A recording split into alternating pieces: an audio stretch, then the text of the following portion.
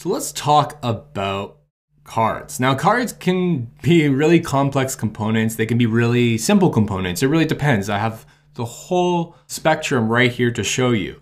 These are all the different types of cards I've designed in like this design system. I have something simple as just like an icon and a title card. I have something simple like just even text and icon, imagery. I have something really complex like this so many different elements, other components in there as well. You'll notice that I have like pills, which is over here. Uh, these are really simple components, kind of based off of our buttons. So let's go back to cards. I have icons. I have typography. I have imagery.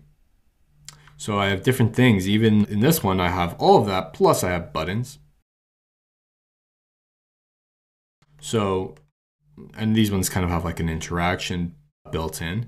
So these are the different types of base components I've built for cards. And I want to show you how I went ahead and built these.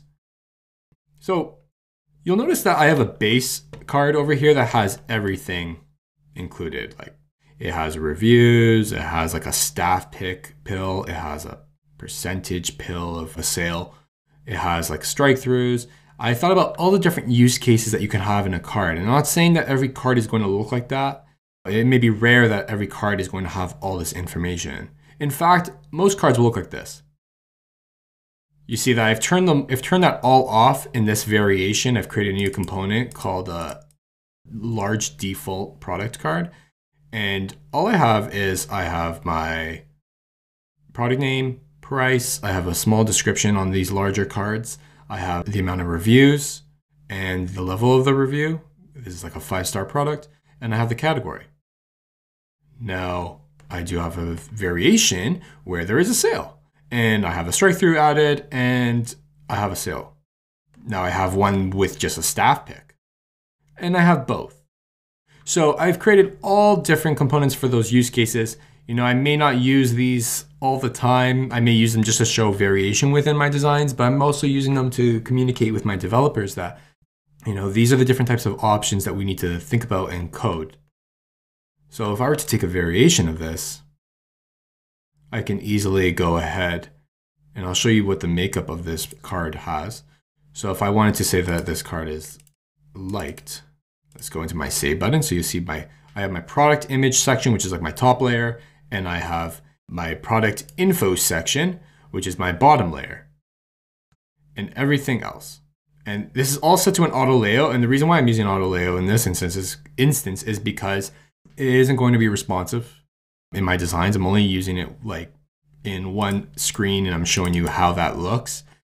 But what you could do is if you really wanted to, you can use auto layout to help space things out. And then once you're happy with that, you can just turn that off and it'll just automatically revert to another frame, a regular frame with the same spacing that you've applied.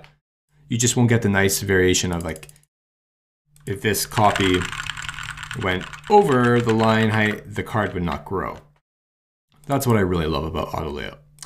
Anyways, let's get into uh, the different type of ways we can customize this card. So if I was thinking about this heart, I may want to fill it. So I have heart, I want 24 pixel heart, and I'm just going to fill that with a red accent. First, I want to think about what images I have. So I've set it up in a way where I have a lot of variation. I have electronics, I have music, I have books. So if I were to turn that off, like I have music, so there's different ways we can turn all these on and off. Boop, boop, boop. So I have like a record player. I have like uh, different types of uh, CDs or vinyls. If you wanted to show like fashion, I have, let's get into that. I have different variations. I have glasses, I have shoes, I have shirts, So what I've done is I've used that plugin called remove background to create easy ways for us to have like a nice, you know, pale background, this nice gray background and have just the image of like the product that we are trying to show. So let's see what, what we have here for electronics. So I have like an ultra wide screen monitor that's really ultra wide. I have like a VR kit. I have a MacBook. I have Bose headphones. I have an iPhone in here. I have an Xbox Elite controller and I have AirPods. So say if I were to use the Xbox controller. Xbox Elite controller.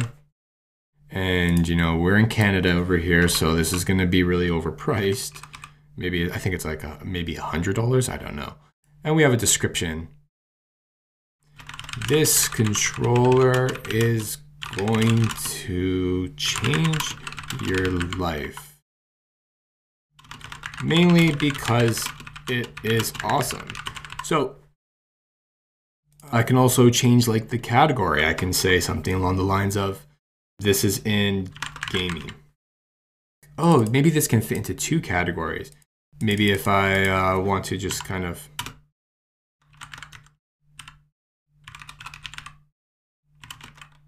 you know, add more if I wanted to. That's up to you, what you think is best for the product. It may just be best to kind of narrow it down to just the one. Totally up to you and totally what's best for the product. So I can also change the number here. There's four and there's maybe, it's a four star and the reviews are like, there's like 2,034 reviews. So different ways that you can kind of customize that card. I've also created like smaller horizontal cards. You'll see that there is a sale. I don't have a sale pill here just because there's not enough screen real estate. I did give myself enough for like maybe like a staff pick, but on the smaller cards, these will be used like on category pages where we're just kind of stacking them in a grid. And these cards are much smaller just in nature. So that is what I've done for just my standard vertical cards. I've also created horizontal cards. So I've even broken these down. So these are more like standard. Let's remove this. These are like your vertical cards. They can be used for different instances, but when I mean vertical, I mean image on top and the descriptions on the bottom. Horizontal cards, I've used them in search results. So this is my default. This is my sale version and my staff pick version and my sale and staff pick version. So you'll see like this system is very much following like a set of rules, like these unwritten rules. Like everything is placed like left aligned, similar over here. My staff pick's always gonna be on my right side. Same with my sale. I'm keeping things incredibly consistent. While we're creating this design system, we're also creating a language. So I also have wish list cards. So if something's in my wish list, I have a default where it is saved. If I click that, that would remove it from the wish list. I have more of the important details here. I care less about if it's a staff pick at this point. You know, I've already adding it to my wish list. I care more about its price and you know maybe its reviews, its category, that kind of information. And I've given it like a little CTA where it's an add to cart button. People can easily add that to cart.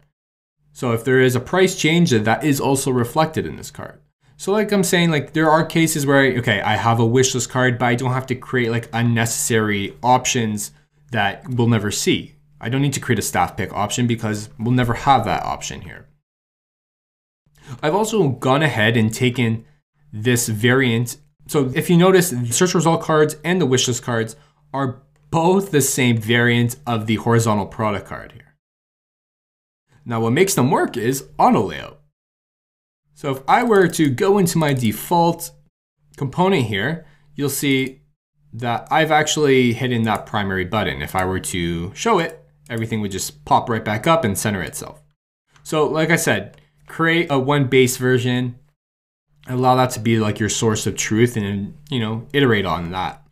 I have a smaller horizontal card, which I'm using for order cards. So when you have an order that's maybe shipped, order in transit. I've created like a little link, a text link here with a little icon and delivered. I want people to know that they can click this and interact with it in some way or shape or form, maybe to see a receipt or maybe to see like all those order details. And for my horizontal product cards here, these are more simple, where it's just a product name and a sale. We're not worried about anything else at that point. And I'll show you how that's used in a recipe. We have our cart cards, which are pretty standard. We have our like our default and then our quantity version when we swipe left. We can edit the quantity. And we have our color cards here. Very simple. These are our growing cards. So they will grow based off of the content. So if I select a new image, what I'm going to do is I'm just going to bring this all the way up so we can see. We have our electronics. I'm going to hide that. And if I bring in a new image, it'll shrink. Same with fashion, same with anything really. So I've done the same exact thing for this.